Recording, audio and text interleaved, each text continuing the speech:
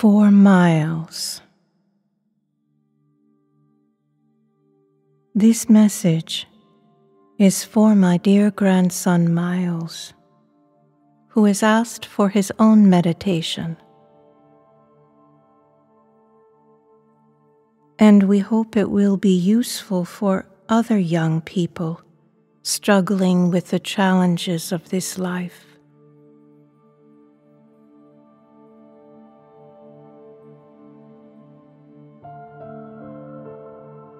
There is something inside of you that knows the perfect truth and the greatest love. This is, you might call it the angel inside of you, being of light, source of life, who keeps reminding you that there is greater love and peace and joy to come.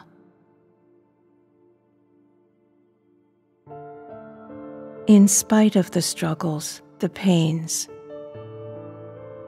the prize is so great, dear one, that we come to you over and over and say, Keep making your heart pure and strong with honesty, with truth. It will be difficult and it will be wonderful. You have chosen a challenging path in order to learn quickly the powerful weapons of love, the goodness, purity, and faith. Don't be afraid of your strong feelings. No. Hold them like jewels you have been given that will gain in power over time. You know so much more than you think you know. In fact, if you reach deep inside, you will see the growth of this power that you wish to hold carefully respectfully, reverently. The holy is inside of you. So grasp it firmly.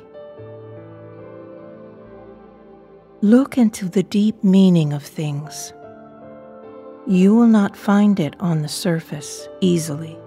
No you will need silence, meditation, stillness.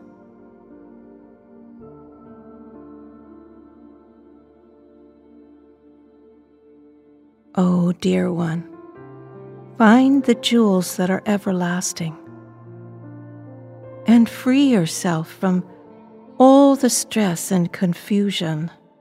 Hold your life your own heart tenderly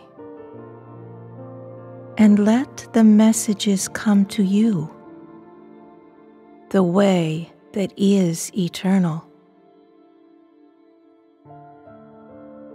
All the helpers are here to comfort, teach, and soothe you, to lift you up and cheer you on because they know the true purity of your heart.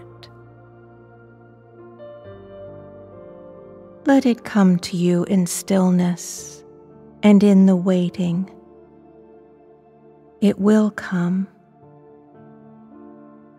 and you will find the way to the life that will sustain and inspire you throughout this fantastic journey.